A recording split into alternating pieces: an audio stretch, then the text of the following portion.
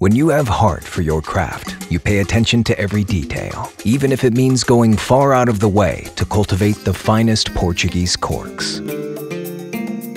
Oceans away from Mexico, near Lisbon, Portugal, skilled workers' quick and definitive movements cut the outermost layer of cork bark.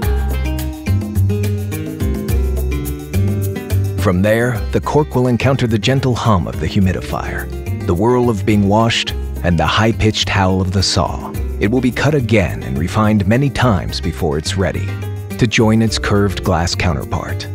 While using synthetic corks could be faster and easier, it wouldn't honor our artisanal process.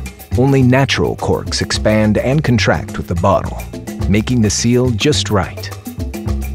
Together, bottle and cork protect the handcrafted tequila within, so that when it's ready for you to enjoy, it's nothing less than simply perfect.